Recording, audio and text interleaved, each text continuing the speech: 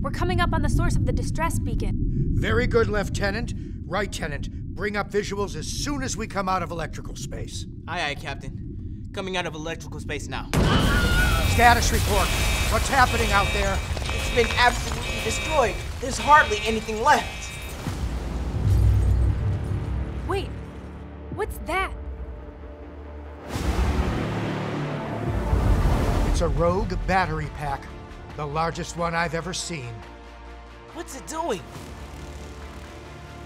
It's cycling, sourcing, then sinking current at will. That power supply isn't bidirectional.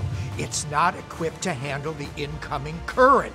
It never stood a chance. That monster!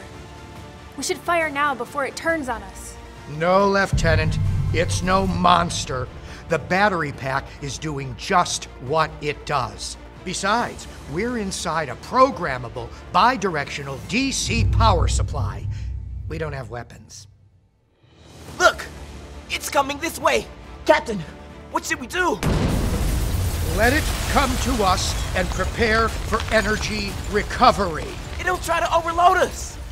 We've got a built in regenerative electronic load. We can recover the energy it sends us at 96% efficiency, synchronizing to the ship's mains. We are bidirectional. I don't know what that means!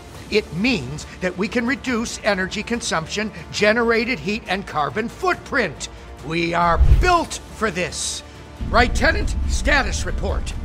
I don't believe it! We are recovering 96% of the energy it's sourcing from us. We are drawing less power from the ship's mains and now have enough fuel to get to the next episode. We're gonna be okay! It's letting us go. I was wrong, Captain. It wasn't a monster. It's just an application with demanding power needs. Not to worry, Lieutenant. These things happen when you're facing the universe's most extraordinary power applications. Now, onward into the test and measurement unknown. Aye, Aye, aye, Captain.